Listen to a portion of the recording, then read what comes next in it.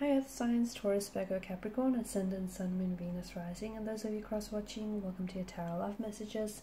Today we're going to take a look at and see what is going on with your person during this no contact, no communication period. Why is it that they've suddenly gone cold or distant towards you? Why are they acting weird lately? There's going to be a part two to this reading as well, and in part two we're going to dive deeper into those messages. It's also going to be sort of like a continuation on part um, from part one the extension link to part two of the reading is going to be made available um, just below the video here. Excuse me. For those of you that are also interested in a personalized tarot reading with myself, please feel free to reach out and inquire. My email address is also going to be made available just below the video.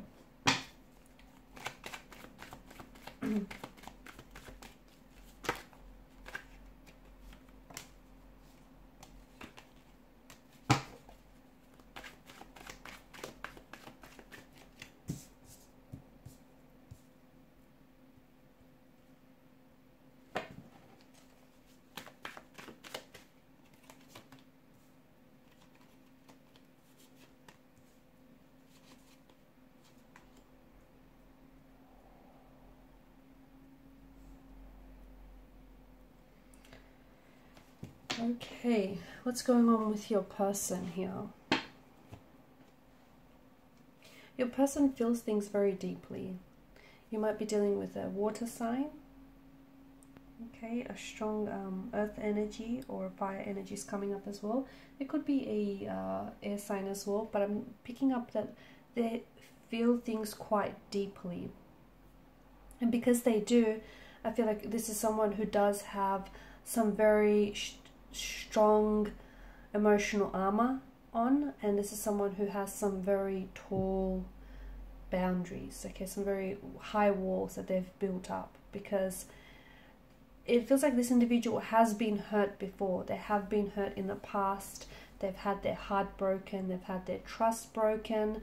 They do love madly and deeply but they're very careful and very selective about whom to give their heart away to because in in the past it feels like you know they've made mistakes they've given their love to the wrong person and they've placed their trust in the wrong person and they're so scared for history to repeat itself. And this is why you know they have their walls up so high. They don't want anyone to just take advantage of it of them.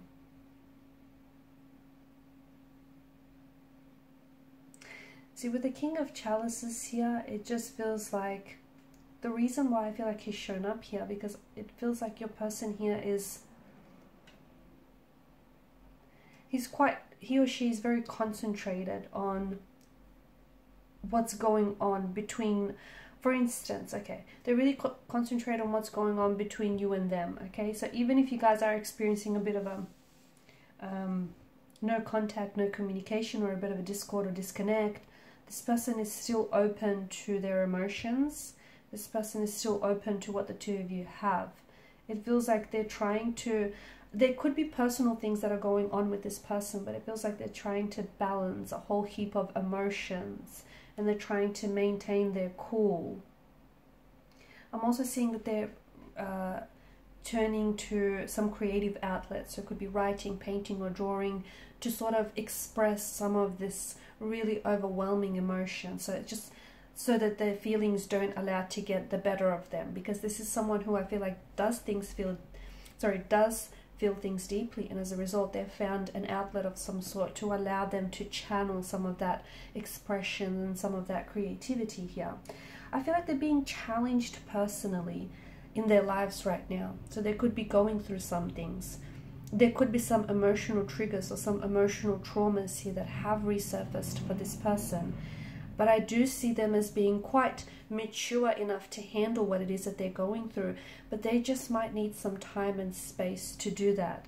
It feels like he or she is quite level headed and they are in control of their emotions, but you don't want to come on too strong so much so as to suffocate them. So give them the time, give them the space to work through whatever it is that they're going through. They're going to stay true to their emotions they won't forget about you okay? They haven't forgotten about you and they haven't forgotten about you know what the two of you share. So just give them time to work things out.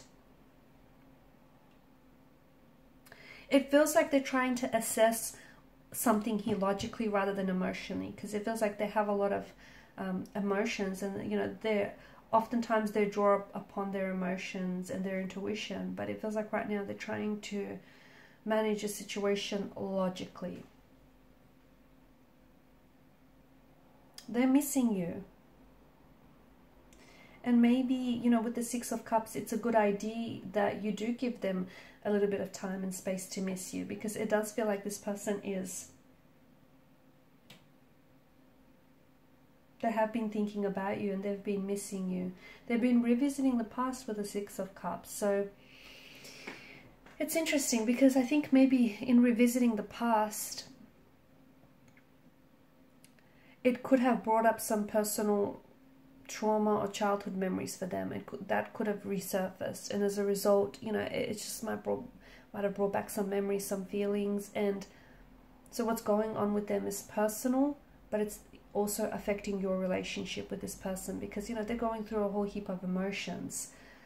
Um, it could also be that something you might have said or something you've done has caused them to revisit a past memory or a past hurt of some sort. They might be revisiting the past with you. They might be looking back through all the photos and all the memories that the two of you created together and, you know, simply revisiting them in their mind here. And they might want to travel back to a time when things were a lot simpler and a lot happier between the two of you. I do feel like this person wants to reconnect or reconnect with you, reunite with you, and I do feel like this person is going to show up again. If they've ghosted you, I do feel like the the ghost will return here. Um, if this is someone who's pulled away or distanced themselves, I do see this lover showing up again. And I also see that this their them re-emerging into your life is going to bring a sense of happiness and joy. Because you're going the two of you are going to do a lot of reminiscing together. You have quite you have a lot of history together. You've created a lot of memories. Even if it was like a really uh, if the two of you haven't known each other very long the impression that you've impressed upon each other has been quite strong, hasn't it? There's going to be a lot of contact, a lot of communication here with this person. If some of you are doing long distance, then I feel like this person might even be traveling from another city, state, or even country to see you, to get closer to you, in order to make that reconnection happen. Um, but again, the, the purpose of this is to make things better. Or the purpose of this is to go back to a time when things were a lot more simpler here someone wants to turn over a new leaf and start fresh, but they want to do it from a positive place, and that's very important to this person. They might take you to a place where you had your first date or to a place where the both of you can really get in touch with your inner child, so like a theme park like Disneyland or anything like that. Um, I'm also seeing that your person feels as though your energies play very well together. They want to fix things, they want to make things better, they want to start fresh um, they're working on themselves. I feel like they're working on. I'm also seeing them being very busy, but at the same time, they're not forgetting, you know, to do some self development and to do some self improvement. So they're trying to work through some things. I also feel like they want to work on this situation between you. They want to build on this connection. Um, there's going to be, right now, there's a bit of a misalignment in your connection. But once the two of you come back into alignment, into vibrational frequency with one another, I do see there being a lot of contact, a lot of communication, a lot of uh, progress, forward momentum here. A lot of laughing, learning, growing together, spending time together.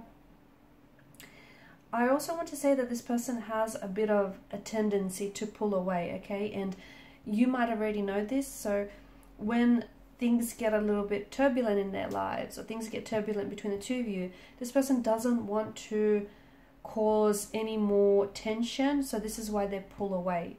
And it might work, okay? Uh, maybe they need some time to cool off. Maybe they don't want to, you know, add any more tension and stress to the connection, and that's why they do it. But I'm seeing that this is something that they're quite accustomed to and have been doing for quite some time it's quite repetitive uh, or has become a bit of a routine. Um,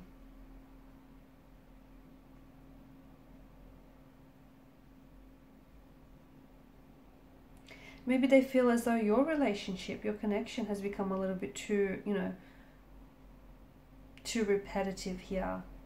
and maybe they feel like the two of you need to you know go back to the honeymoon phase of the relationship or go back to things when when you weren't putting so much pressure on each other and onto this connection.